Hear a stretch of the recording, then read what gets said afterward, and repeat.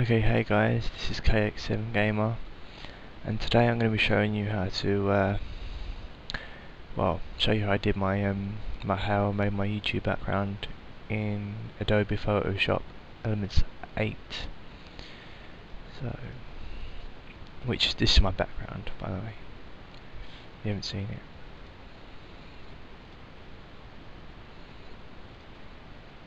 So what you want to do is you want to go to New blank file.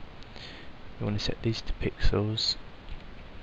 And you want the width as 2000 and the height as 3000 and then you can name it whatever you want here.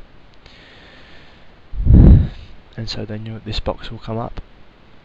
And the way I did the background color uh, changing the background color like I did was this this tool here. It's called the gradient tool uh, so just click it.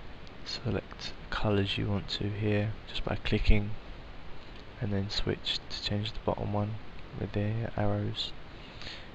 Basically click at the top drag the line down like that and it will come up like that. And then next I put in the text uh, my name. So the text tool here and click that. Click um, wherever you want the text. And then basically just make it bigger. And then when you've made it bigger by stretching these, click the tick and then text tool again to write subscribe like that. Tick again and then the next thing I did was these two arrows. So to do that click the right click the heart uh, control and right click if you're on a control and click if you're on a Mac sorry. And then you want to go to custom shape tool.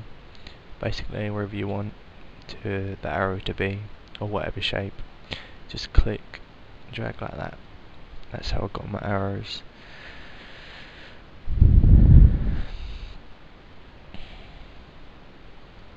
So basically, that's um, this is a really short tutorial because it didn't take me long to make this.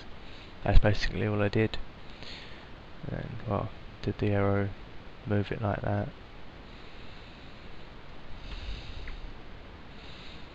And then yeah, I just don't really need that one. Yeah, basically that's that's how I made it. And then to save it, um, I went to uh, File, Save As, always save the Photoshop uh, file like this as well so you can edit it easier. And then so save it whatever you want there and then save it again um, as JPEG. I'm sure you know how to save you know your destinations and file name there. And then when you click save you get the quality. For a YouTube background you can only have 256k like um, size for a YouTube background and it's um, below the word preview it shows you how much so what I've made is too big. So you have to uh, just got to play with it really. Like so 10 there you go.